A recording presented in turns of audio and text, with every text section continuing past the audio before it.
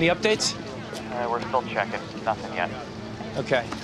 Hey, Yeah. run down any leads on missing HMX explosives. Hey, they had to slip up at some point. We just need to find out where. Don't mess with LA. That's the message viewers get week after week on the hit CBS show NCIS Los Angeles.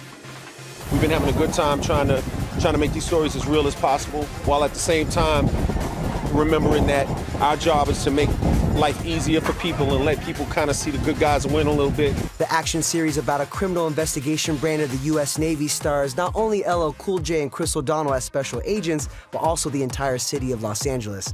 Unlike most TV shows, NCIS LA shoots on location rather than on a soundstage.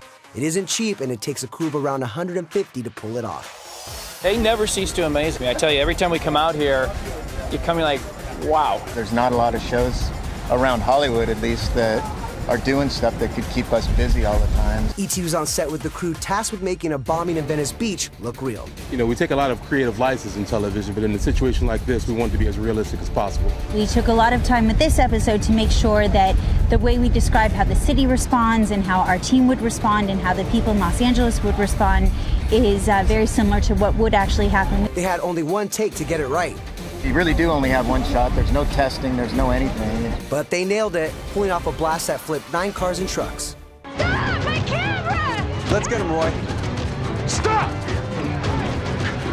Take its flank!